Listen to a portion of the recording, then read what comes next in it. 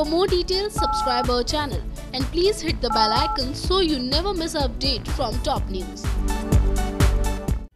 Colors TV के show इश्क में मर जावा में आए दिन कोई ना कोई धमाका हो ही जाता है। जहाँ आपने शो के कल के एपिसोड में देखा होगा कि कैसे सारे सस्पेंस से अब उठ चुका है पर्दा और जहाँ दिलीप ने अभी तक शादी हुई थी चुप्पी, अब वो भी बोलने लगे हैं और सबके सामने उनका सच भी आ गया है कि वो अपने परिवार वालों का दे रहे हैं साथ और दीप और अरोही से करते हैं नफरत, जिसे देखकर दर्शक काफ़ी ज़्यादा खुश हो गए हैं और एक्साइटेड भी हो गए हैं कि अब दीप और आरोही कैसे मिलकर करेंगे दोनों का आमना सामना तो वहीं हम आपको आगे की भी जानकारी दे दें कि अब जल्द ही दीप आरोही को भी खुश करने वाला है, जहाँ वो उसे डेट पर ले जाएगा और आपको काफ़ी हसीन पल देखने को मिलेंगे, जिससे दर्शक काफ़ी ज़्यादा इंटरटेन भी होने वाले हैं और जो दर्शक इतने दिनों से इंतज़ार कर रहे थे आरोही और दीप को देखने के लिए, वो फाइनली अब खुश हो सकते हैं, जहाँ आप शो में आगे ये देखना हो जाएगा काफ़ी मज़ेदार कि आखिर कब तक बनी रहती है दीप और आरोही की लाइफ में खुशियाँ, और क्या इस बार भी दोनों की खुशियों में ग्रहण लगाएगी रोमा ये सब जानने के लिए बन हमारे साथ। फ़िलहाल हमारे शो में बस इतना ही। और भी अपने फेवरेट शो इश्क में मर जावा से जो लेटेस्ट अपडेट्स को जानने के लिए